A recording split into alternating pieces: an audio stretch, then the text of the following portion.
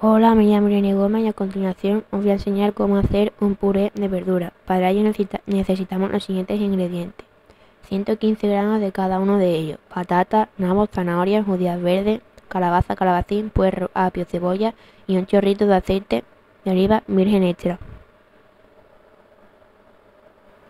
Primer paso. En la olla echamos un chorrito de aceite y lo ponemos a fuego alto, 7-8. Segundo paso. Cortamos la cebolla. Y tercer paso. La vertimos en la olla. Cuarto paso. Removemos la mezcla. Y en el quinto paso. Cortamos los ingredientes restantes.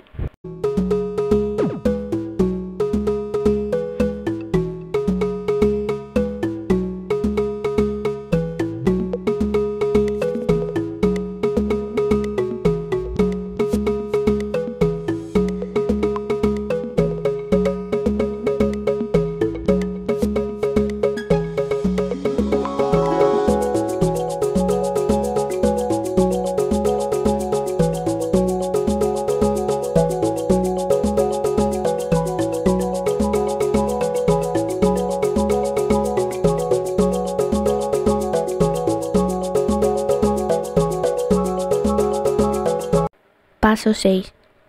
Echamos la zanahoria y las judías verdes a la olla. Paso 7. Echamos los ingredientes restantes a la olla. Paso 8. Lo removemos. Paso 9. Le echamos agua. Paso 10.